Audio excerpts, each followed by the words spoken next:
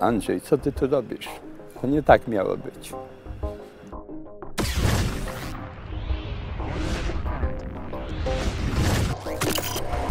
Przyjechałem w interesie społecznym powiadomić Was, że z można wygrać. Można, choć nie jest to walka prosta ani krótka, o czym przekonał się Andrzej Polak, człowiek, który pod górkę miał od zawsze. Byłem bardzo młody, kiedy przyjąłem się do górnictwa. Moja mama umarła, kiedy miała 40 lat. Zostałem sam. Chciałem być lekarzem czy adwokatem. Niestety nie wyszło. Nieraz na nocnej zmianie usiadłem koło stempla i płakałem z tego względu, że w myślach miałem. Moja mama na pewno pomyślała sobie, Andrzej, co ty tu robisz? To nie tak miało być. Zahartowany niełatwym życiem, Andrzej Polak nie ugiął się w ośmioletniej sądowej batalii z ZUS-em o godziwą górniczą emeryturę, co dziś ogłasza w różnych punktach stolicy. 8 lat udręki. Wygrałem. Przez lata pracy osiągłem najwyższe kwalifikacje. Byłem bardzo cenionym pracownikiem.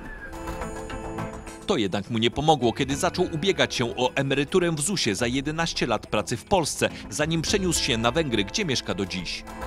ZUS wszystko robił, żeby tej emerytury nie przyznać. Oddałem sprawę do sądu i sąd w pierwszej instancji na podstawie ustaw, przepisów przyznał mi tą emeryturę. ZUS się odwołał.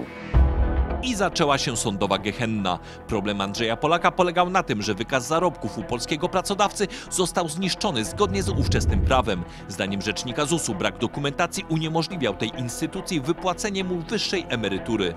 Zakład Ubezpieczeń Społecznych może się kierować li tylko dowodami. Jeżeli nie ma tych dowodów, to Zakład Ubezpieczeń Społecznych nie może zrobić nic innego niż na przykład odmówić przyznania świadczenia, czy też odmówić jego podwyższenia, jak to było w sprawie pana Andrzeja. Andrzej Polak dostarczał więc do sądu kolejne osoby poświadczające jego wynagrodzenie i wydawał pieniądze na kolejnych adwokatów, choć ZUS przelewał na jego konto zaledwie 410 zł miesięcznie. Trudność i koszty załatwienia swojej sprawy były bardzo duże. Kilkanaście razy przyjeżdżałem do kraju, telefony, listy, podania, pisanie, to wszystko. No, obliczam to na około 35-40 tysięcy złotych. Z własnych oszczędności. Po ośmiu latach Sąd Najwyższy zasądził na rzecz Andrzeja Polaka trzykrotnie wyższą emeryturę od tej przyznanej mu przez ZUS. Dziś w interesie publicznym mężczyzna pikietuje pod siedzibą ZUS-u w Warszawie, oskarżając państwowe instytucje o bezduszne działania wobec obywateli i otrzymując od wchodzących z rana do budynku pracowników ZUS-u słowa przeprosin i wsparcia. Ja w imieniu, przepraszam. Życzę powodzenia. Dziękuję. Wygrałem, wygrałem. Tylko w 2014 roku ZUS sądził się z klientami w 134 tysiącach spraw, z czego niemal 100 tysięcy wygrał. Dziś Andrzej Polak ma dla rodaków jasną informację. Drodzy rodacy, przyjechałem tysiąc kilometrów do Warszawy powiedzieć, że z ZUS-em można wygrać.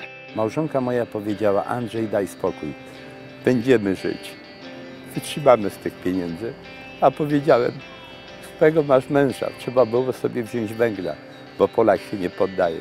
Mam nazwisko Polak i będę o sprawiedliwość walczył do końca. Wygrałem.